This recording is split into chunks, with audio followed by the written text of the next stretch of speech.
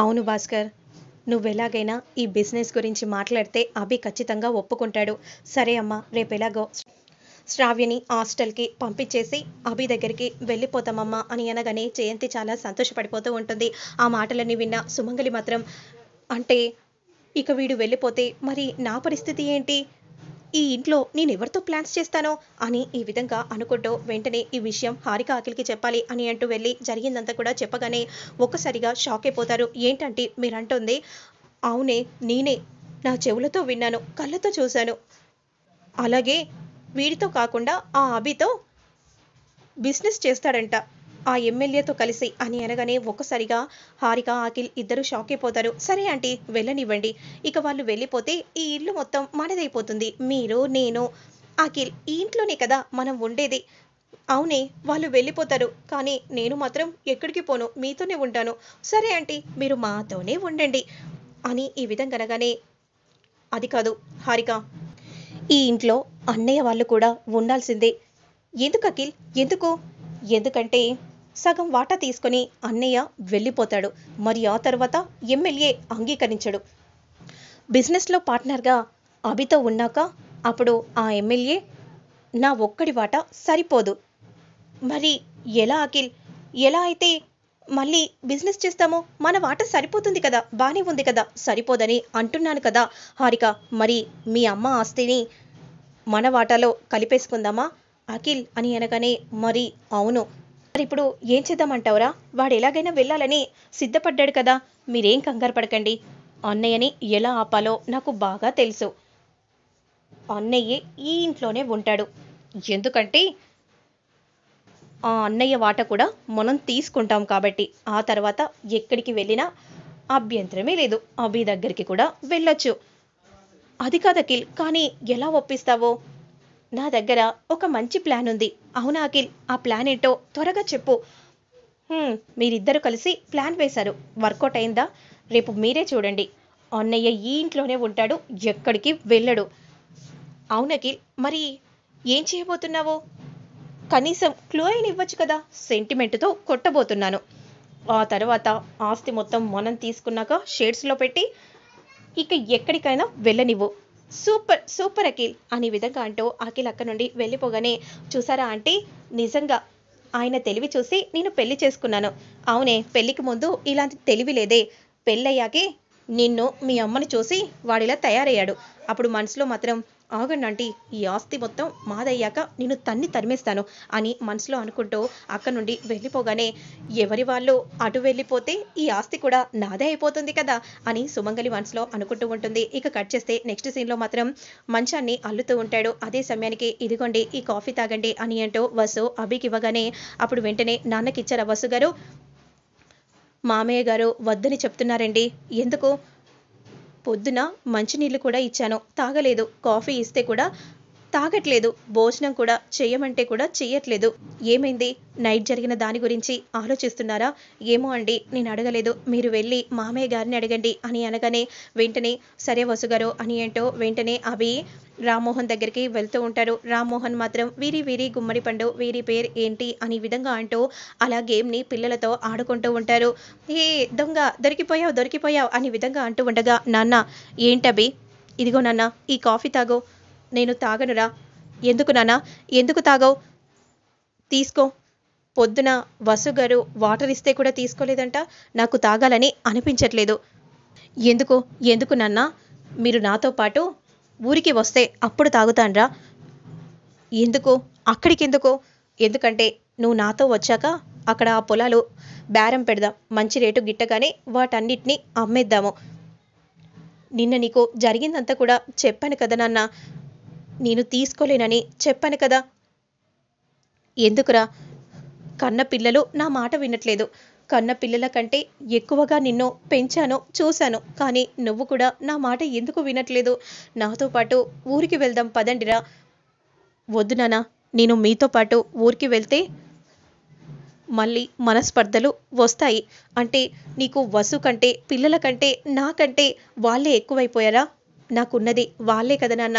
వాళ్ళ గురించి కాకుండా ఎవరి గురించి ఆలోచిస్తానో? అది కాదురా. నువ్వు నీ పిల్లల కోసం సరే నా గురించైనా ఆలోచించు. కానీ ఎందుకురా? నిన్ను ఇంట్లో నుండి పంపించేశాక వాళ్ళ గురించి ఎందుకు ఆలోచిస్తున్నావో? నాతో పాటు విలేజ్కి వెళ్దాం. పద నువ్వెక్కడికి వెళ్ళాల్సిన అవసరం లేదు జాబ్ చేయాల్సిన అవసరం లేదు. అవును నాన్న. మనం చాలా రోజులవుతుంది విలేజ్కి వెళ్ళక విలేజ్కి వెళ్దాం అని అనగానే అవును డాడీ ఒప్పుకో డాడీ చాలా రోజులవుతుంది విలేజ్ కల్చర్ చూడక అవును డాడీ సమ్మర్ ట్రిప్ అంటూ ట్రిప్కి వెళ్తున్నారు. మనం విలేజ్ ట్రిప్ చేద్దాం అని అంటూ ఉంటే పిల్లలు కూడా అడుగుతున్నారు కదా అభి. ఒప్పుకో ఎక్కడికి వెళ్ళడానికి వీల్లేదు. నేను మిమ్మల్ని గేమ్స్లో చేర్పిస్తాను. మాకు గేమ్స్ ఏమీ వద్దు డాడీ. మీరు ఇలా మొండిగా ఉండకూడదు.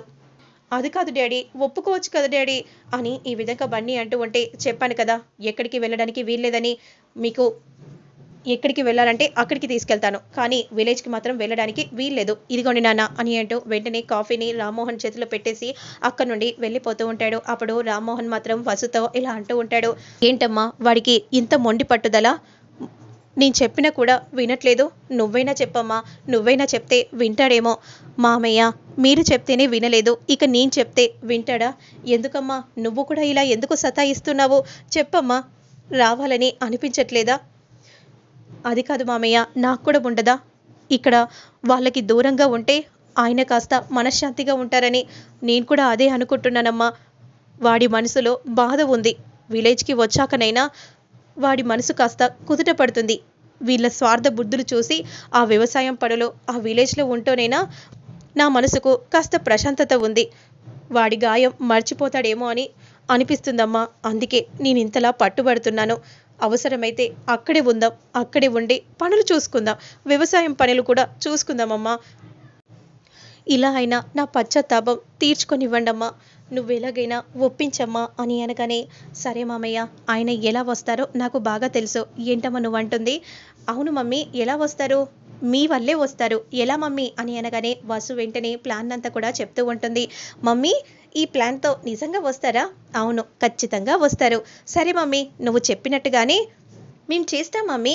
కానీ ఇది మన ప్లాన్ అని ఆయనకు తెలియకూడదు. సరే అమ్మా ఇప్పుడు మీరు ఊరికి వస్తారన్న నమ్మకం నాకు కలిగిందమ్మా కలిగింది. ఇక నాకు చాలమ్మా అని ఈ విధంగా అంటూ సంతోషంగా రామ్మోహన్ అక్కడి నుండి వెళ్తూ ఉంటారు. ఇక మరోవైపు మాత్రం శ్రావ్య లగేజ్ని కార్లో పెడుతూ ఉంటారు. నానమ్మ వెళ్ళొస్తాను. అమ్మ వెళ్ళొస్తాను. బాబాయ్ చెప్పినట్టుగా నువ్వు బాగా చదువుకోవాలి. సరే నానమ్మ నువ్వు ఎలాంటి బెంగ పెట్టుకోకూడదు. సరే అమ్మ నువ్వు హాస్టల్కి వెళ్ళాక అభికి వసుకి కూడా ఫోన్ చేయి. ఆల్రెడీ ఫోన్ చేశాను డాడీ. ఆల్ ది బెస్ట్ అని చెప్పారు. సరే అమ్మ జాగ్రత్త. పావని వెళ్ళాక ఫోన్ చేయి. మర్చిపోకు. సరే మమ్మీ. Bye mummy. బాయ్ అని విధంగా అనగానే పావని మన లగేజ్ కూడా సర్ది పెట్టు. ఇక మనం కూడా వెళ్దాము అని అనగానే ఇక శ్రావ్య అక్క నుండి వెళ్ళిపోగానే అందరు కూడా ఇంట్లోకి వెళ్తారు. సుమంగలి వెంటనే అత్తయ్య అఖిల్ హారికలను పిలువు. ఎందుకురా? చెప్తాను. పిలవండత్తా అని అనగానే అఖిల్ హారిక అని విధంగా పిలవబోతూ ఉండగా లగేజ్ ప్యాక్ పట్టుకొని ఇద్దరు వస్తూ ఉంటారు. ఏంటి అఖిల్? ఈ లగేజ్ ఎంత ఏంటి? నువ్వు కామ్గా ఉండమన్నానా? అని అఖిల్ సైగ చేస్తూ ఉంటాడు. వీడేంటి? లగేజ్ బ్యాగ్తో ఎంట్రీ ఇస్తున్నాడు అని సుమంగలి అనుకుంటూ ఉండగా ఏంట్రా? లగేజ్తో ఎక్కడికి వెళ్తున్నావు? ఈ ఇంటిని వదిలి వెళ్తున్నామన్నయ్య అని అనగానే షాకింగ్గా అందరూ అలానే చూస్తూ ఉంటారు. ఏంట్రా? నువ్వు వెళ్ళడం ఏంటి అవునన్నయ్య. ఈ ఇంటికి దూరంగా వెళ్ళాలని అనుకుంటున్నాను. ఎందుకురా ఇప్పుడు ఏం జరిగిందని? ఈ ఇంట్లో ఉండాలని అనిపించట్లేదు అని అనగానే పావని షాక్ అయిపోతుంది. ఎందుకురా? ఎందుకలా? ఎందుకంటే నువ్వు వాడి మాటలు పట్టుకొని మమ్మల్ని దొంగలు చేశావు అవమానించావు. అలాగే నువ్వు మమ్మల్ని తప్పు పట్టావు. అందుకే ఈ ఇల్లు వదిలి వెళ్ళాలని అనుకుంటున్నామన్నయ్య. అని అనగానే సుమంగలి షాకింగ్గా అలానే చూస్తూ ఉంటుంది. వీడేంటి ఇలా మాట్లాడుతున్నాడు అని అంటూ ఉండగా నాకు నువ్వే అన్నయ్య ముఖ్యం. నువ్వే ఇలా బాధగా మాట్లాడితే నేను తట్టుకోలేకపోయాను. అందుకే ఇక మేము ఈ ఇంటిని వదిలి బయట ఎక్కడైనా ఉండాలని అనుకుంటున్నాము అని అనగానే జయంతి షాకింగ్గా చూస్తూ ఉంటుంది. నాకు నీకంటే ఎవరు కూడా ఎవరు ముఖ్యం కాదన్నయ్య. నాకు ఆ దేవుడు కంటే నువ్వే అన్నయ్య. నాకు ముఖ్యం అనే విధంగా అంటూ చేయిని పట్టుకొని నువ్వేమో ఆ అభిమాటలు పట్టుకొని నన్ను అనుమానించావు. మేము అలా చేస్తామా? మాకు శ్రావ్య ఎంత ముఖ్యం? మీరు కూడా అంతే ముఖ్యం కదా అన్నయ్య. అయినా అతను బయటివాడు. మనం రక్తం పంచుకొని పుట్టిన వాళ్ళం. కానీ నువ్వే నన్ను అలా అనే విధంగా బాధపడిపోతూ అంటూ ఉంటే భాస్కర్ అలానే చూస్తూ ఉంటాడు. ఇక సుమంగలి మాత్రం షాకింగ్గా అలానే చూస్తూ ఉంటుంది. అన్నయ్య నాకు ఇక ఈ ఆస్తి అక్కర్లేదన్నయ్య అని విధంగా అంటూ ఆస్తి పేపర్లను తీసుకొని ఇదిగో అన్నయ్య నా ఆస్తి వాటా కూడా ఇందులోనే ఉంది. నువ్వే ఈ ఇంట్లో ఉండన్నయ్యా.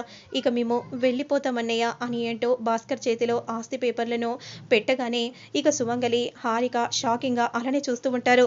అఖిల్ అని కోపంగా హారిక అనగానే నువ్వు ఉండు హారిక నీకేం తెలీదు అని విధంగా అంటూ అన్నయ్య నువ్వు తీసుకో అన్నయ్య. నా అన్నయ్య కంటే నాకు ఈ ఆస్తి ముఖ్యం కాదు.